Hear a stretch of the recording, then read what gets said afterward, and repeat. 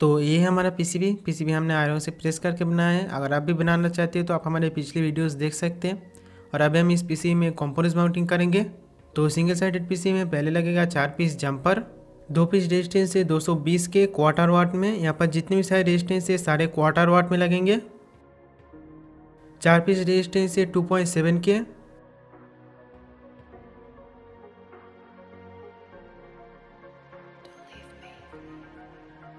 दो piece resistance है hundred के।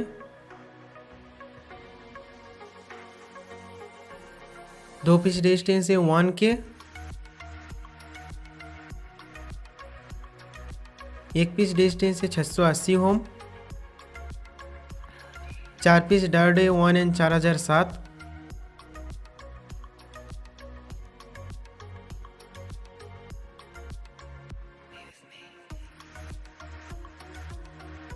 चार पीस कैपेसिटर है, चार सौ सत्तर पी एफ़ जहाँ पर चार सौ इकहत्तर लिखा रहता है।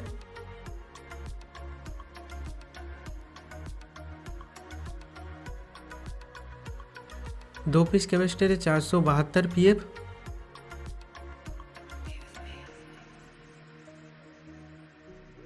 दो पीस कैपेसिटर है, हंड्रेड एन एफ़ यानी एक सौ चार पी एफ़ दो पीस कैपेसिटर है two point two E F sixty three volt में।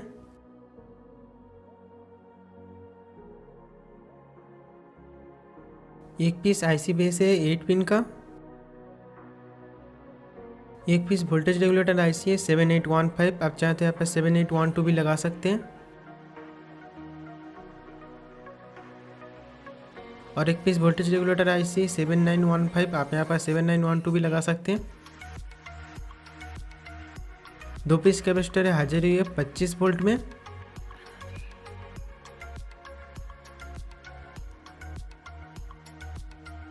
एक पीस एलईडी है थ्री एम का।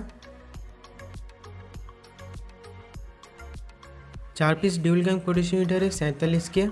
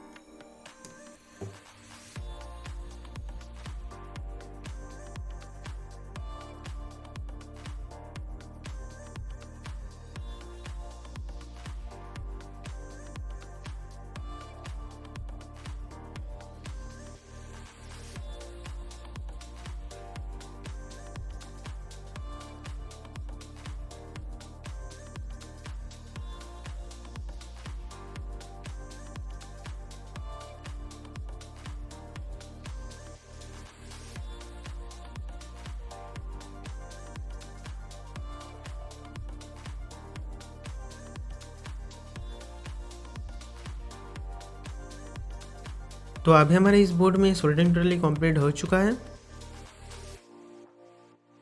और अभी हम इस बोर्ड को थिनर से वॉश कर लेंगे। आप चाहते हैं यहाँ पर पेट्रोल का भी यूज़ कर सकते हैं। तो इस बोर्ड में हम यहाँ पर पैंतालीस आठ डी आई यूज़ कर रहे हैं। आप यहाँ पर नीचे दी हुई लिस्ट में से कोई सा भी ओपैम्प आई यूज़ कर सकते हैं।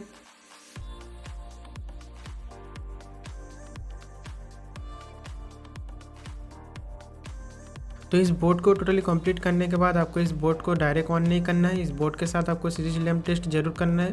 ट्रांसफ़र वाली वायर को आपको इस बोर्ड की ट्रांसफ़र इनपुट में कनेक्ट कर देना है।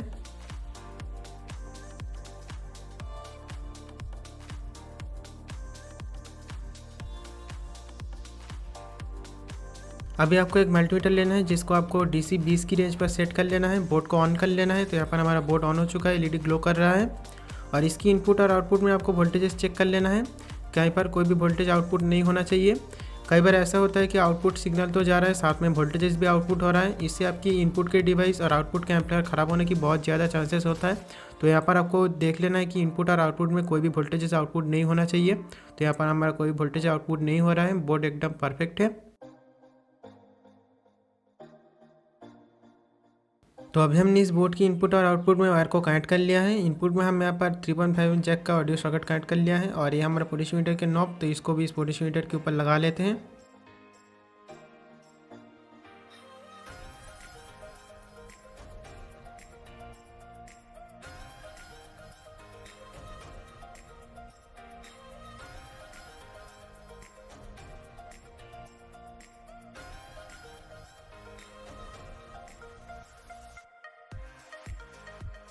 तो यहाँ तक हमारे जो बोर्ड है टोटली कंप्लीट हो चुका है। अगर आपको वीडियो पसंद आए तो प्लीज़ वीडियो पर एक लाइक करना, अपने दोस्तों के साथ ज़रूर शेयर करना। इस वीडियो के रिलेटेड कोई भी क्वेश्चन है तो नीचे कमेंट कर सकते हैं।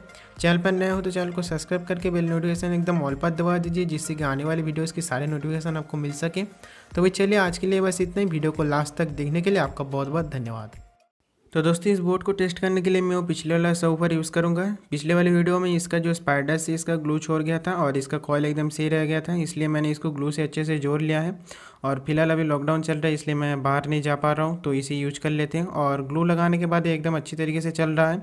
और इसका पूरा वीडियो मैं आपको इंस्टाग्राम पर पोस्ट कर दूँगा, आप चाहे तो वहाँ पर जाके इसका वीडियो आप देख सकते हैं। तो चलिए, अभी हम इसका टेस्टिंग देख लेते हैं।